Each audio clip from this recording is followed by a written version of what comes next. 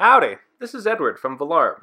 In this video, you'll learn how to automatically calculate volumes of your products you have in your tanks, which are remotely monitored with Valarm.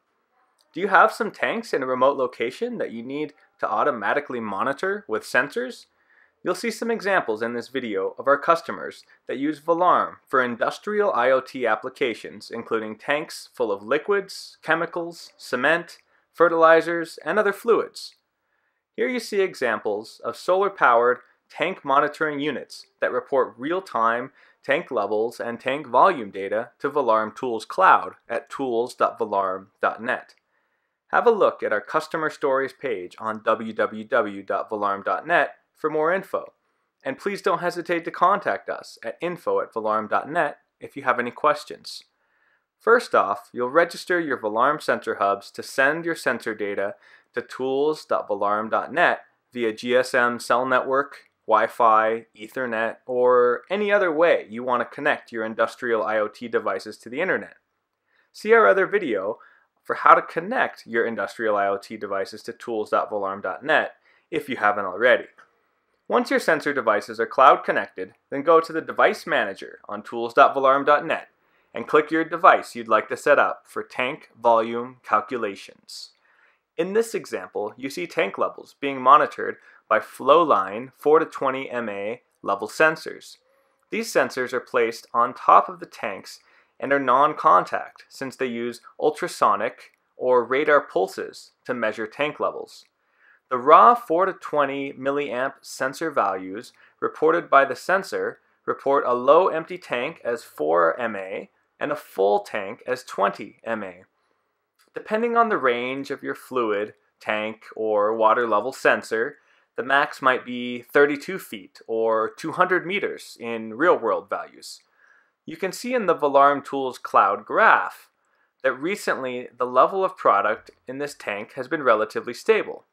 However, it's much more useful for you and our customers to know the height in real world values, like feet or meters. That's why we've set up a linear scalar that's being reported in the Calc2 field. You'll see how to set this up in just a minute. You can use the linear scalar with the tank height as an input for a tank volume calculator. In this case, Calc3 is the volume of your tank. Now let's go through how you can set up these handy tank monitoring features on tools.valarm.net. First, you'll set up a linear scalar under Configure Data Path. The linear scaler scales your raw sensor values you're receiving to the real world values. For example, if your industrial IoT level sensor reports values between 4 and 20 milliamps, with 4 corresponding to 0 feet of product and 20 corresponding to 32.8 feet of product, then you'll put in your min in as 4, your in max as 20, your out min as 0, and your out max as 32.8. Now Valarm Tools Cloud will automatically scale your raw 4 to 20 MA sensor values in a linear fashion so that the output channel or field now has the level of fluid in your tank. Next, you'll use the volume calculator under Configure Data Path to set up your tank volume calculations. You've got a set of channels and tabs you can use to enable volume calculations. Here you can enable channel 1 and give it a name like petrol tank in building A or fertilizer tank in building B. Add some notes so it's clear to you and your team in the future what asset you're working with. Under the type, you can choose your type of tank vessel, either a vertical cylinder, horizontal cylinder, horizontal ellipse, or a rectangular tank.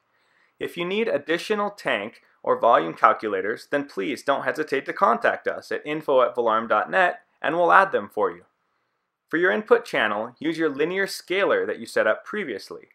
In this case, the calculated to field has just what we need, the sensor's latest value for the height, in feet, of the product in the tank. Use a new, unused output channel for where the volume calculation results will go. In this case, we'll use calculated 3. Set your units for your input, e.g. feet or meters, and then choose the output volume units that you need, like liters or gallons. Last, you'll enter your tank parameter variables like length, diameter, and or height. That's it.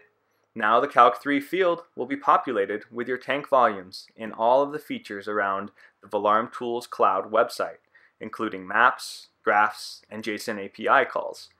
You can see your tank volume data in a graph where the output is whatever you need, like cubic feet, gallons, or liters. Do you need to see this information on a web dashboard that you and your teams can log into from anywhere in the world? We can make a custom dashboard for you or your organization that has maps, graphs, widgets, whatever you need. You can monitor your assets using any device with a web browser, like your phone or tablet. You'll receive alerts when sensor values go too high or too low.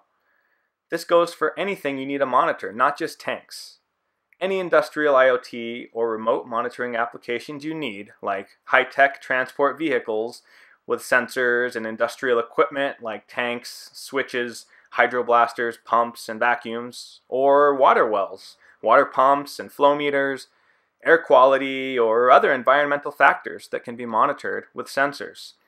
Have a look at our website at www.valarm.net for customer stories on how organizations in different verticals and industries around the world use Valarm to literally monitor anything, anywhere. Do you have any questions? Please don't hesitate to contact us at info at valarm.net or give us a call, ring us up at plus one if you're outside of the US, 424 442 0963. We'd love to hear from you and have you tell us more about your industrial IoT, remote monitoring, and sensor telemetry needs. Thank you for watching.